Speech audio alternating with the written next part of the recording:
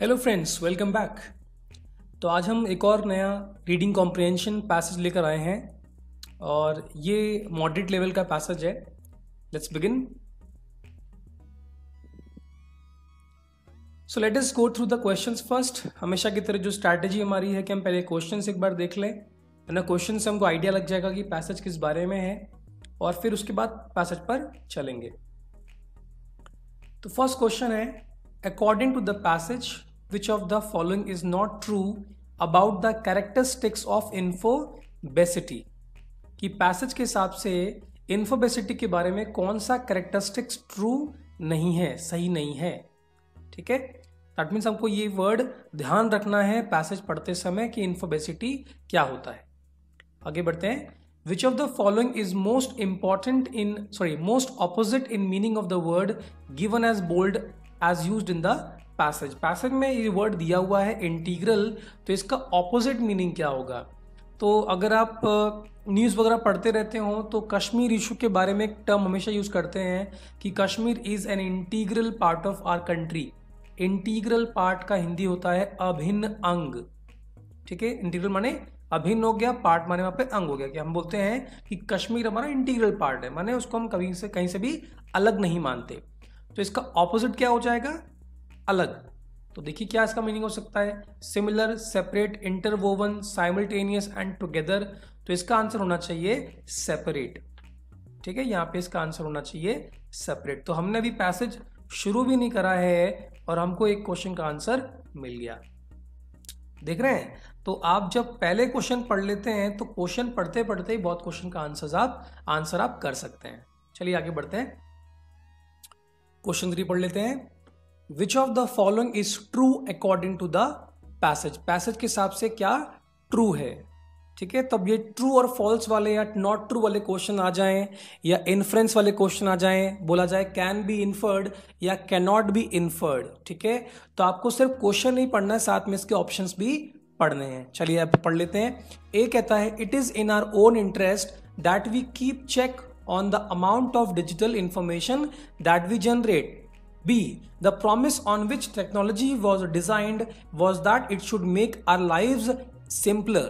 C. It is best that we learn to survive without any technological intervention in our lives. तो पहले ने क्या बताया कि हमारे हित में है कि हम ये चेक करें कि डिजिटल इंफॉर्मेशन कितनी आ रही है जो हमने जनरेट की हुई है दूसरा कि जो प्रॉमिस है कि हमारी लाइफ जो है वो सिंपल होगी है ना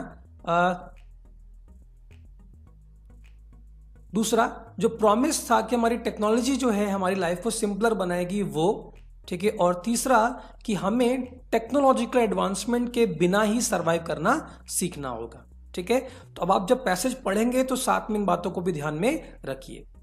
आगे बढ़ते हैं। Which of the following can be most can be the most suitable title for the passage अब इसके लिए तो पैसेज पढ़ना ही पड़ेगा, है ना? क्योंकि टाइटल तो हम तब बता पाएँगे जब हम पैसेज में से जो की वर्ड्स हैं इंपॉर्टेंट वर्ड्स उनको तलाश पाएँगे, ना कि किसके बारे में ज़्यादा बातें हो रही हैं। जैसे मान लीजिए कि कोई टॉपिक पोल्यूशन है, उस पर आप कोई कोई पैसेज लिखते हैं तो पोल्यूशन की ही चर्चा हो रही होगी इस पूरे पैसेज में, ठीक है ना? तो लेट्स सी तो हम यहाँ पे दो चीज़ जान चुके हैं। पहला तो वर्ड है इन्फोबेसिटी उसे हमें ढूंढना है। दूसरा, कार के बारे में हमको ढूंढना है और टाइटल ढूंढना है हमको, ठीक है? और पांचवा क्वेश्चन है according to the author, which of the following can be said about reaching up, reaching to people through the medium of technology technology के माध्यम से लोगों तक पहुँचने के बारे में क्या कहा है ऑथर ने? ठीक है, इसको भी हमें समझना होगा। तो टोटल पाँच क्वेश्चन आपको दिए गए हैं। अब हम, है ना, बढ़ते हैं पैसेज की ओर। Let's read together in our day and age technology is omnipresent and integral part of our lives आज के दिन में और युग में टेक्नोलॉजी जो है, वो ओमनी प्रेजेंट है और हमारी लाइफ्स का इंटीग्रल पार्ट है। व्हाट इज़ इंटीग्रल पार्ट अभिन्न अंग। हम उससे खुद से सेपरेट नहीं कर सकते। चाहे जितना भी हम बोले कि मुझे टेक्नोलॉजी से बिल्कुल भी समझ में नहीं आती है, फिर भी हम कहीं ना कहीं टेक्नोलॉजी यूज़ कर ही रहे हैं। हम चाहे कार ड्राइव करें स्कूटर ड्राइव करें मोटरसाइकिल चलाएँ साइकिल चलाएँ बस में बैठे हों फ़ोन का इस्तेमाल कर रहे हों इंटरनेट चला रहे हों, कुछ भी करिए। आप टेक्नोलॉजी से घिरे हुए हैं चारों तरफ़। तो यहाँ पे वर्ड क्या आ गया? ओमनी प्रेजेंट ओमनी का मतलब होता है ऑल और प्रेजेंट का मतलब होता है प्रत्यक्ष प्रकट होना। तो ओमनी प्रेजेंट माने सब जगह विद्यमान होना। तो क्या बोला कि हमारे आज के युग में टेक्नोलॉजी जो है, वो हमारे जीवन का अभिन्न अंग बन गया है और हर जगह प्रेजेंट है। However the main purpose of technology is to make our life easier हालाँकि हमारी टेक्नोलॉजी का जो मेन पर्पस है, वो हमारी लाइफ को आसान बनाना है। The reaction on opinions and technology are very diverse जो रिएक्शंस जो प्रतिक्रियाएँ आई हैं ओपिनियंस पर, मत जो विचार लोगों के हैं टेक्नोलॉजी के बारे में, है ना, वो बड़े विभिन्न हैं, भिन्न है मतलब अलग अलग हैं। This year various sessions at the women's forum covered the influence of new technologies in our daily life इस साल है ना, बहुत सारे सेशंस हुए हैं विमेंस फोरम पे ना, जिसमें नई तकनीक का हमारे दिन पर क्या, हमारे दिन की ज़िंदगी पर क्या प्रभाव पड़ता है इन्फ्लुएंस माने प्रभाव पड़ना, वो उस पर चर्चा हुई है।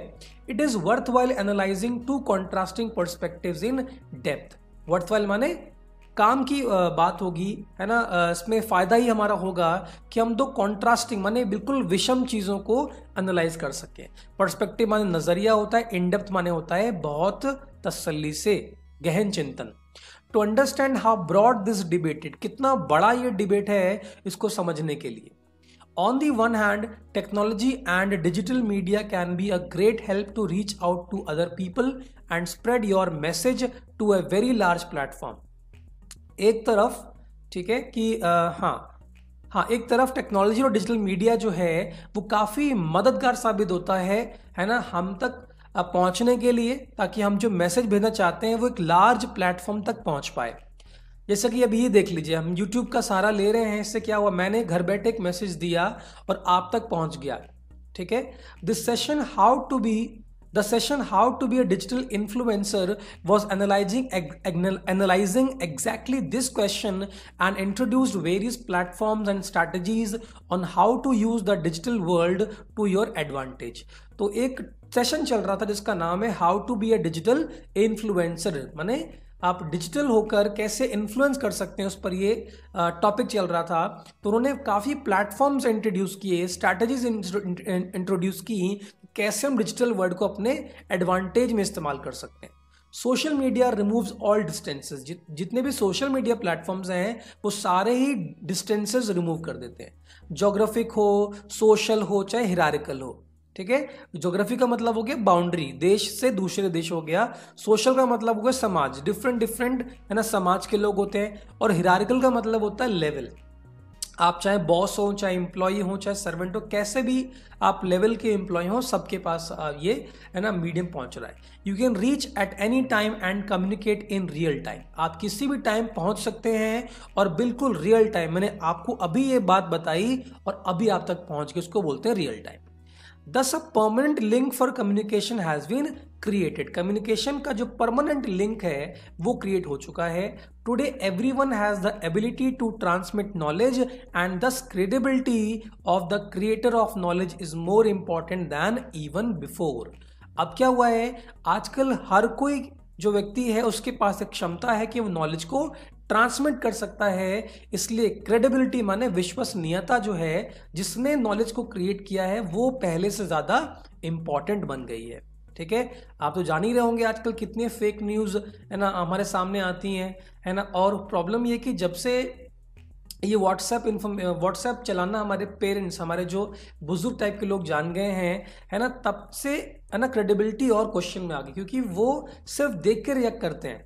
मैं ये सब नहीं बोल रहा हूँ, सब लोग ऐसा करते हैं, पर majority of the people generally the old age people they react to the situation एक इमेज देखकर कुछ लिख दिया जाए तो वो उसको सच मान लेते हैं। ठीक है ना? क्योंकि वो इतने ज़्यादा भोले हैं कह सकते हैं कि वो हर चीज़ पर विश्वास कर लेते हैं जो उनको दिखती क्योंकि हम भी तो ये कहते हैं, जो दिखता है है ना, वही सच हो सकता है। तो उनको दिख रहा है सामने एक इमेज है तो इमेज से एक इंप्रेशन बन जाता है। इसलिए इंपॉर्टेंट है कि जो व्यक्ति, है ना नॉलेज को क्रिएट कर रहा है कि वो कौन व्यक्ति, जब तक हम ये नहीं जानते, जान जाते, तब तक हम कोई इन्फॉर्मेशन को आगे शेयर ना करें। ये हमारी रिस्पॉन्सिबिलिटी बनती है। Technology has taken the universal communication method of storytelling and transformed it. Technology क्या किया? टेक्नोलॉजी ने यूनिवर्सल कम्युनिकेशन मेथड को बदल दिया, है ना? उसको वहाँ से लिया जो यूनिवर्सल कम्युनिकेशन मेथड था, है ना? स्टोरी टेलिंग का उसको ट्रांसफॉर्म कर दिया in a way that now more stories can reach more people है ना? ऐसे ट्रांसफॉर्म किया कि अब ज़्यादा से ज़्यादा स्टोरीज और ज़्यादा लोगों तक पहुँच सकती हैं। Through social media platforms then ever before social media platform के ज़रिए ये पहुँच जाती हैं जो पहले नहीं पहुँच पा रही थी। ठीक है? People should find their digital media voice tell shareable stories and drive engagement people क्या कर सकते हैं? पीपल डिजिटल मीडिया वॉइस को ढूंढ सकते हैं, है ना? जो भी स्टोरीज शेयर की जा सकती है, उनको बताते हैं और उससे लोग एंगेज हो जाते हैं। ठीक है? आगे बढ़ते हैं। Also it is very important to be authentic and truly about the message you are trying to convey through the digital media और यह भी ज़रूरी है कि जो भी आप मैसेज दे रहे हो डिजिटल मीडिया के थ्रू वो ऑथेंटिक हो, वो जेन्युन उसकी, है ना जो ट्रूनेस है, उसकी पहचान हो चुकी हो, है ना? आगे बढ़ते कन्वे माने होता है है ना मैसेज को शेयर करना, बताना, समझाना। Another session the very same day analyse how exactly the opposite is true and how new technologies actually cause stress and suffering because of a concept refer to as infobesity ठीक है? अब समझते हैं, एक और सेशन हुआ जहाँ पे उसी दिन हुआ है दूसरा सेशन जहाँ पे बिल्कुल ऑपोजिट भी ट्रू है कि कैसे नई टेक्नोलॉजी ने हमारे लाइफ में स्ट्रेस ला दिया, हमारे लाइफ में सफरिंग ला दी, ठीक है? क्योंकि एक कॉन्सेप्ट है जिसका नाम है इन्फोबेसिटी। क्या आप अब तक इस टर्म को समझ पाए हैं कि ये इन्फोबेसिटी कौन सा टर्म है? क्या कहना चाहता है ये? ठीक है? We have change the way we consume and generate information हमने वो तरीका बदल दिया है जिससे इन्फॉर्मेशन कंज्यूम और जनरेट की जाती है। People are trying to live ten live at once and a lot of stress and anxiety occurs from that लोग क्या कर रहे हैं लोग एक साथ में दस दस जिंदगियाँ जीने की कोशिश कर रहे हैं इससे स्ट्रेस आ जाता है इससे एंगजाइटी आ जाती है Thus, we are suffering from digital bulimia, meaning that we take in a lot of information at once without really processing it for ourselves and in turn create a lot of new information. ठीक है? इससे क्या होता है, हम एक digital बीमारी से सफ़र करते हैं, उसको बोलते हैं डिजिटल बुलिमिया इसका मतलब होता है कि इन्फॉर्मेशन एक्सेस में आ जाना आपके पास में। ठीक है ना? है ना? इन्फॉर्मेशन क्या? That we take in lot of lot of information हम ले लेते हैं, बिना उसे प्रोसेस किए। हम अपने यूज़ में कम लेते हैं। ठीक है? ऐसे बहुत से फ्रेंड्स मेरे वैसे करते हैं कि मैंने उनको एक वीडियो शेयर किया, उसने उन्होंने वीडियो को देखा ही नहीं, आगे उन्होंने शेयर कर दिया। ये बहुत से ऐसे होते हैं कि मैं वीडियो वीडियो यूट्यूब वीडियो में बनाता हूँ और मैं कहता हूँ उसमें कि हाँ भाई इस वीडियो मैंने बनाया इसको, आप देखिए लाइक कीजिए। पर यकीन मानिएगा जनरली लोग उसको लाइक तो कर देते हैं, बिना उसको देखे। ठीक है? तो ये क्या उन्होंने खुद के लिए प्रोसेस तो नहीं करा, पर आगे ट्रांसफ़र कर दिया। ठीक है, इससे क्या होता है? We are at the same time creators and victims of information overload हम ओवर इंफॉर्मेशन ओवरलोड को क्रिएट भी कर रहे हैं और साथ साथ में विक्टिम भी हैं। क्या अब आपको समझ में आया कि इन्फोबेसिटी क्या है? तो इन्फोबेसिटी टर्म जो है, ये दो वर्ड से मिलके बना है। ठीक है? इंफॉर्मेशन और ओबेसिटी इंफॉर्मेशन ओबेसिटी को मिलाया और बनाया एक नया टर्म इन्फोबेसिटी ओके इसको बोलते हैं पॉन्टेमेंटेयू जहाँ पे आप दो वर्ड्स को मिलाकर एक नया वर्ड क्रिएट कर दें, उसको बोलते हैं पॉन्टेमेंटेयू ठीक है नेक्स्ट में वीडियो में आपको पॉन्टेमेंट्यू शेयर करूँगा कि कौन कौन से पॉन्टेमेंटेयू इस वक्त एग्जिस्ट करते हैं। ठीक है, जिसमें से एक एग्जांपल आपको देता हूँ कि सुबह का जो नाश्ता होता है, उसे हम बोलते हैं ब्रेकफास्ट और दोपहर का खाना उसे हम बोलते हैं लंच लेकिन कभी कभी ऐसा होता है कि हम नाश्ता नहीं कर पाते और हम नाश्ते के टाइम के गुजरने के बाद, मान लीजिए आप नाश्ता सुबह सुबह सात बजे करते हैं और लंच आप करते हैं दोपहर एक बजे और इस टाइम आप ग्यारह बजे कुछ खा रहे हैं तो उसे क्या कहा जाएगा? ठीक है? तो आंसर है, उसे ब्रंच कहा जाएगा। उसे ब्रंच कहा जाएगा। और आज मैंने एक वीडियो देखा जिसमें सूटकेस को, है ना स्कूटर के फॉर्म में उसमें एक दो पहिए तो वैसे ही लगे हुए थे। एक एडिशनल उसमें पहिया लगाया लगाया गया था, जिसमें आप सूटकेस के उस पहिए पर बैठ के जा भी सकते हैं। जैसे आपने देखा होगा ना स्कूटर जो बच्चों के लिए आते हैं, वैसा। तो बताओ उसका नाम क्या था? सूटकेस भी था वो, और साथ में स्कूटर भी था। ठीक है? तो उसका नाम था स्कूट केस स्कूट केस नाम था उसका। ठीक है? तो जो दो शब्दों से मिलाकर एक नया शब्द बनाया जाए, उसे पॉन्टेमेंटिव कहा जाता है। आगे बढ़ते हैं। Thus it is obvious that technological advancement has failed at its mission of making everybody's life easier as many people are reacting negatively to it इसलिए, है ना परिणाम स्वरूप हम ये कह सकते हैं कि जो टेक्नोलॉजिकल एडवांसमेंट है, वो अपने मिशन में फेल हो गया। मिशन क्या है? कि हमारी ज़िंदगी आसान बननी चाहिए, है ना? क्योंकि लगभग लोग उससे नेगेटिवली रिएक्ट कर रहे हैं। ठीक है? तो पैसेज काफ़ी इंफॉर्मेटिव था और लैंग्वेज भी इसकी काफ़ी अच्छी थी। आगे बढ़ते हैं। तो अब हम वापस क्वेश्चन पे मूव करते हैं और देखते हैं क्वेश्चन के आंसर क्या क्या है। है ना? आप वीडियो को पॉज करिए और आंसर ढूँढने की कोशिश करिए। रेडी चलिए तो देखते हैं। इन्फोबेसिटी का क्या मतलब है? और क्या इसमें ट्रू नहीं है? तो पहला कहता है the pace of our live has increase significantly due to technology तो ये तो ट्रू हो गया तो ट्रू के लिए टी लगा लीजिए। Then with the help of technology people try to do multiple things at the same time leading to stress stress भी उनको हो जाता है तो ये भी ट्रू हो गया।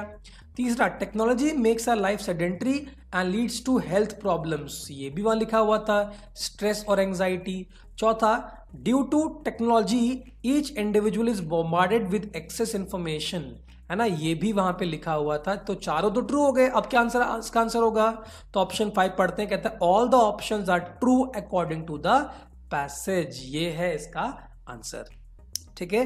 आई एम श्योर बहुत लोग सोच रहे होंगे, इसमें तो नॉट ट्रू पूछा था, फिर ट्रू कैसे इसका आंसर हो सकता है? तो आपको तो ऑप्शन देख के बात करनी है। ऑप्शन फाइव ने क्या बताया कि जितने भी विकल्प ऊपर दिए गए हैं, इनमें से कोई भी नॉट ट्रू नहीं है। यही तो बोल रहा है वो, है ना? तो इसका आंसर फाइव होना चाहिए। आगे बढ़ते हैं। फिर पॉज करके देख लीजिए। अच्छा ये तो हमने बताया ही था इसका आंसर सेकेंड होगा सेपरेट चलिए थर्ड क्वेश्चन सॉल्व करते हैं। तो पूछा गया कि कौन सा है ना? इनमें से ट्रू है पैसेज के अकॉर्डिंग ठीक है? तो पहले ने बताया it is in our interest हमारे हित में है, कि हम अमाउंट ऑफ़ डिजिटल इंफॉर्मेशन को चेक करें, कितनी ज़्यादा इंफॉर्मेशन हम भेज रहे जनरेट कर रहे हैं, ठीक है? तो यहाँ पे डिजिटल बुलिमिया एक कॉन्सेप्ट आया था, आपको ध्यान होगा इन्फोबेसिडी कॉन्सेप्ट आया था, इसलिए ए तो इसका आंसर लग रहा है, अभी रुक जाते हैं। बी ने बोला कि promise on which technology was designed was that it should make our live simpler तो सिंपलर वाली बात भी तो की थी ना कि मिशन क्या था उसका? कि that our life will be easier तो बी तो इसका आंसर होगा ही होगा। सी ने बोला कि हमें सरवाइव करना it is best that we learn to survive हमें सरवाइव करना सीखना होगा बिना किसी टेक्नोलॉजिकल इंटरवेंशन के तो भाई पैसेज ने ये नहीं बोला कि टेक्नोलॉजी का होना बिल्कुल गलत है। ठीक है तो सी तो इसका आंसर नहीं हो सकता है। ठीक है, अब जब सी नहीं हो सकता है तो दूसरा इसका आंसर कट गया, ना तीसरा इसका आंसर कट गया, है ना? ओनली देख लेते हैं। देखो बी तो कंफर्म है तो ओनली ए तो इसका आंसर नहीं हो सकता है। है ना? एक बार फिर से पढ़ लेते हैं ए को कि हमारे इंटरेस्ट में है कि हम चेक करें कि कितनी इंफॉर्मेशन हम जनरेट कर रहे हैं। बिल्कुल तो इसका आंसर ए होना चाहिए। तो इसका आंसर बनेगा first both A and B चल आगे बढ़ते हैं। Next question which of the following can be the most suitable title for the passage क्या हो सकता है सुटेबल टाइटल पैसेज का? तो पहला है the paradox of technological advance what is a paradox जहाँ पे एक बात सच हो और उसकी विपरीत वाली भी सच हो जाए। ठीक है?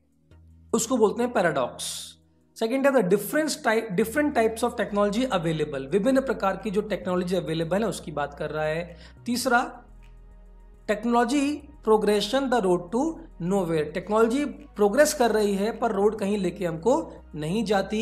चौथा है technology and gainful insight. Technology और उसके लाभ। पांचवा, technological progress across the continents. अब अगर आपने पैसे मेरे साथ पढ़ा हो तो आपने देखा होगा कि एडवांस के पैराडॉक्स को तो की बात तो नहीं की है, एंड एडवांटेज और डिसएडवांटेज की बात की है। ठीक है, पैराडॉक्स का मतलब होता है बिल्कुल ऑपोजिट भी सही हो जाए। तो वन तो इसका आंसर नहीं हो सकता, ठीक है? सेकेंड है कौन कौन से प्रकार की टेक्नोलॉजी आ चुकी है? उसकी बात भी पैसेज ने नहीं करी थी। पांचवा कॉन्टिनेंट्स की बात नहीं करी थी कि कॉन्टिनेंट के पार पहुँच गया है, किसी भी कंट्री का, किसी भी कॉन्टिनेंट का नाम तो लिया नहीं गया है। और सिर्फ़ फ़ायदे हैं, ये भी हमको नहीं बताया था। तो हमें बताया गया था कि ये रोड कहीं लेके हमको नहीं जा रही है। जो उसका मिशन था कि हमारी लाइफ आसान बनेगी, ऐसा नहीं कर पा रही है टेक्नोलॉजी यही हमें बताना चाह रहा था, पैसेज। ओके नेक्स्ट बढ़ते हैं.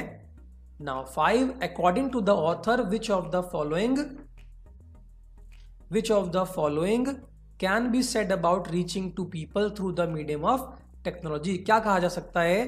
तो ए ने कहा today's digital age has made it essential for an individual to send a message that is genuine in nature ज़रूरी है कि जो भी आप मैसेज भेजें, वो जेन्युन होना चाहिए। बिल्कुल, ये ऑथर ने सजेस्ट किया था तो ए इसका आंसर है B the ability to impact many people through a message is solely dependent on the number of times he or, sorry, the same message goes out regardless regardless of its authenticity message अगर आप भेज रहे हैं तो चाहे वो genuine हो चाहे नहीं हो, है ना, आप उसके कितनी बार भेजते हैं, उस मैसेज को, उससे उसका इम्पैक्ट पड़ता है। ऐसा पैसेज में था क्या?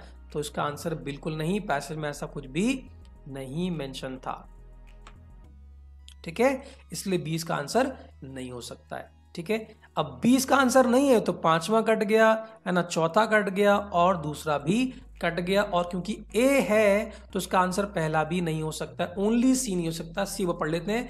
The technology has made it easy to reach out to the masses बिल्कुल से इसका आंसर बनेगा ए एंड सी ठीक है? तो हम श्योर ये पैसेज आपको समझ में आया होगा। क्वेश्चन भी आपके सही हुए होंगे। तो चलिए मिलते हैं अगले वीडियो में। तब तक के लिए बाय